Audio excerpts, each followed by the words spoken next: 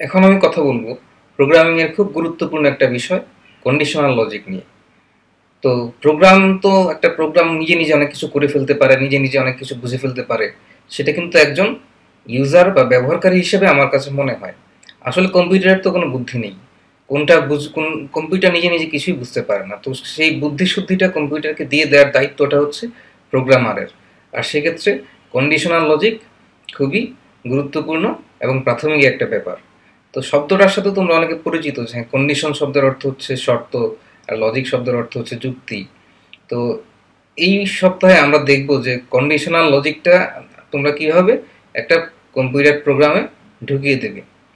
এখন কন্ডিশনাল লজিকের ডিটেলসে যাওয়ার আগে আমি কিছু উদাহরণ দিব তোমাদেরকে, এবং যে উদাহরণগুলো দেখলে তোমরা বুঝতে পারবে যে তোমরা অলরেডি কন্ডিশনাল লজিক ব্যাপারটা খুব ভালোই বুঝো।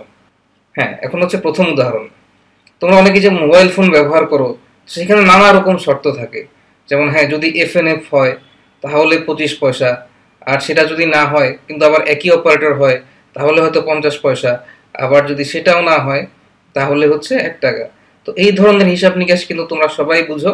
এবং তুমি যদি এগুলো বুঝে থাকো, তাহলে কন্ডিশনাল লজিক বুঝতে তোমার কোনোই সমস্যা হবে না।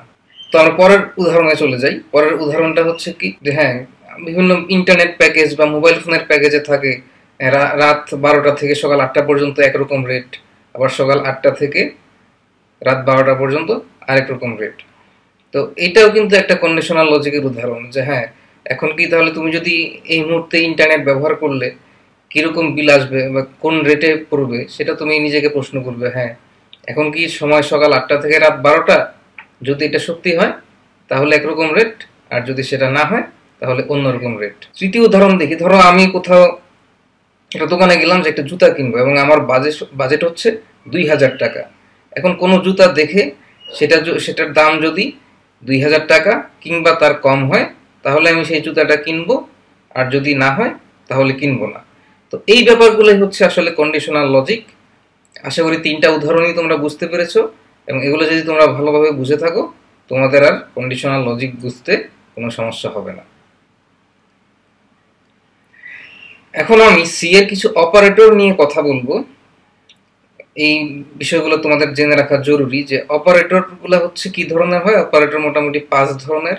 Arithmetic operator unary operator relational and logical operator assignment operator R conditional operator তো অ্যারিথমেটিক অপারেটর বিষয়গুলো তুমি অলরেডি অনেকে জানো যে হ্যাঁ যে প্লাস মাইনাস গুণ, ভাগ, এগুলো হচ্ছে এরিথমেটিক অপারেটর আর অ্যাসাইনমেন্ট অপারেটর তোমরা জানো অ্যাসাইনমেন্ট অপারেটর হচ্ছে এটা, যেটা দিয়ে একটা ভ্যালু অ্যাসাইন করা হয়। যেমন ভেরিয়েবল লেকচারে তোমরা দেখেছ যে, যদি আমি বলি যে এক্স সমান পাঁচ, এখানে কিন্তু এক্স সমান পাঁচ না, এখানে এক্সের মধ্যে পাঁচ অ্যাসাইন করা হয়েছে মানে এক্সের মান এখন থেকে পাঁচ।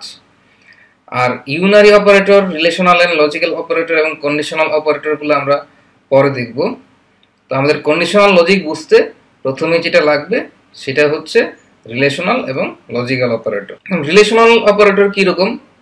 যে হ্যাঁ দুইটা জিনিসের মধ্যে সে রিলেশন তুলনা তুলনা করবে যে হ্যাঁ এটা কি বড় বা সমান বা ছোট? যেমন ধরো, বড় হলে কীভাবে চিহ্নটা হবে? সি এর চিহ্নটা হচ্ছে এটা গ্রেটার দেন সাইন আমি যদি বলি যে হ্যাঁ এ গ্রেটার দেন বি তাহলে সে তুলনা করবে যে এ কি বি এর চেয়ে বড়?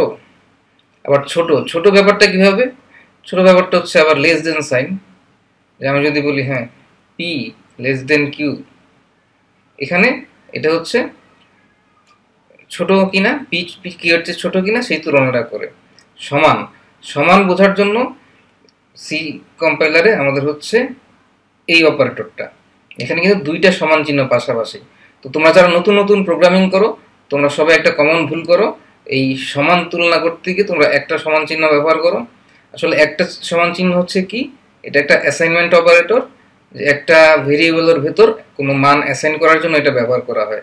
আর এইটা হচ্ছে সমান কি না সেটা তুলনা করার অপারেটর তো সমান কি না সেটা যদি তুলনা করা যায়, সমান নয় সেটাও তুলনা করতে পারা উচিত। হ্যাঁ এবং সেটার জন্য অপারেটর হচ্ছে প্রথমে একটা নট সাইন এটা এটা হচ্ছে সমান নয়। তো আরও দুইটা অপারেটর আছে, সেটা হচ্ছে সমান কিংবা বড়।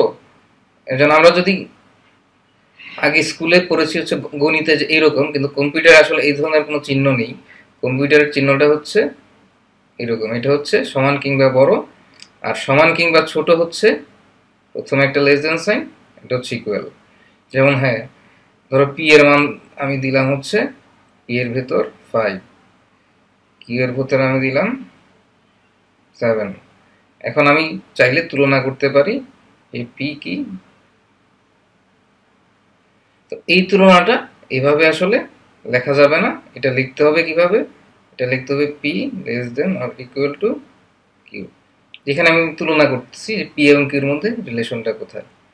তো এই রিলেশনাল অপারেটরগুলা কন্ডিশনাল লজিক বোঝার জন্য খুবই গুরুত্বপূর্ণ। কন্ডিশনের ফলাফল সবসময় হবে সত্য অথবা মিথ্যা। যেমন ধরো, আমরা আগের উদাহরণ উদাহরণে দেখেছি যে হ্যাঁ পি এর মান আমি বলেছিলাম হচ্ছে ফাইভ কিউ এর মান ফোর। তাহলে পি গ্রেটার দেন কিউ এটা কি সত্য নাকি মিথ্যা? এখন তোমরা বলো পি এর মান যদি পাঁচ হয় কিউ এর মান যদি ফোর হয়, তাহলে তো পি পাঁচের চেয়ে বড়। তাহলে পি গ্রেটার দেন কিউ এটা হচ্ছে সত্য। আবার আমরা যদি আরেকটা স্টেটমেন্টের কথা বলি, যেমন ধরো পি সমান কিউ যে পি আর কিউ কি সমান? না পি আর কিউ সমান না, এটা হচ্ছে তাহলে কি মিথ্যা?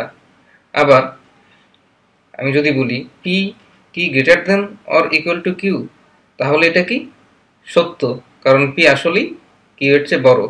মানে এই কম্পারিজনটা হচ্ছে বড় কিংবা সমান যে কোনো একটা হলেই হলো। যেমন ধরো পি এর মানও যদি ফোর হতো, তাহলে কি এই স্টেটমেন্টটা সত্য হতো না মিথ্যা হতো? তাহলেও এই স্টেটমেন্টটা সত্য হতো, কারণ পি কিউ এর চেয়ে বড় না সমান আমরা সেটাই বের করার চেষ্টা করছি এখানে। তো এই কন্ডিশনাল লজিকে সত্য মিথ্যার ব্যাপারটা ইম্পর্টেন্ট যে হ্যাঁ তোমরা বিভিন্ন শর্ত দিয়ে সেই শর্তটা সত্য না মিথ্যা সেটা বোঝার চেষ্টা করবে। যেমন ধরো, একটা জুতার গায়ে যদি দাম লেখা থাকে হচ্ছে দুই হাজার টাকা, তাহলে আমি যদি সেই কম্প্যারিজনটা করি যে হ্যাঁ জুতাটার দাম কি আমার বাজেটের মধ্যে? আমার বাজেট যদি দুই হাজার টাকা হয়, তাহলে এটা সত্য। এবার আমার বাজেট যদি এক হাজার টাকা হয়, তাহলে জুতার দাম দুই হাজার টাকা হলে সেটা আমার বাজেটের বাইরে অর্থাৎ আমি যদি তখন ওইভাবে চিন্তা করি যে হ্যাঁ জুতার দামটা কি আমার বাজেটের মধ্যে? না, সেটা তখন মিথ্যা।